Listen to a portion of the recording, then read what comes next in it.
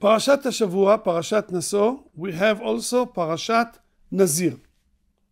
To be Nazir, it's good or bad. There are two opinions in the Gemara, Masechet Ta'anit. One opinion said to be Nazir, it's bad. Hashem gave you something to enjoy in this world, you have to enjoy. When it is kosher, it is allowed, enjoy.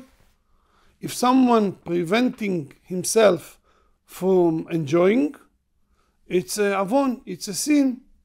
The pasuk said, "Me'asher hata." It means it, it's, it's a sin. Another opinion said, no, to be Nazir, it, it means to be holy. Kadosh yeh, the one that prevents himself from the enjoyment of this world, is holy. We can say that the two opinions are correct.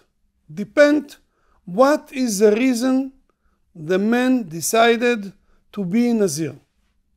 Some people, they think to enjoy this world, it's not good. Better not.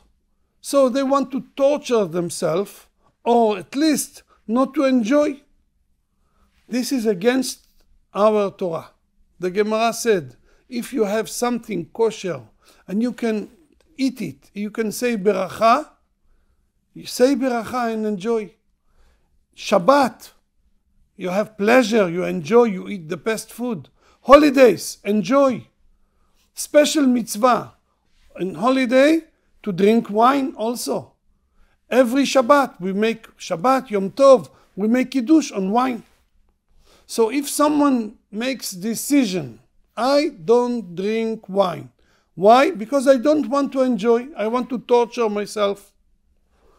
He is like Has Shalom, the Goyim, some Gentiles, some Goyim, they think we have to torture ourselves, not to enjoy. This is not our Torah. Our Torah enjoy, eat, drink, and you have to be powerful to worship Hashem. But some people, they don't want to drink wine because not to torture them, themselves, not they don't want to enjoy, because they know that if they drink too much wine, they, they have weakness. They see that I drink one cup, then the second, then the third, then I will get drunk.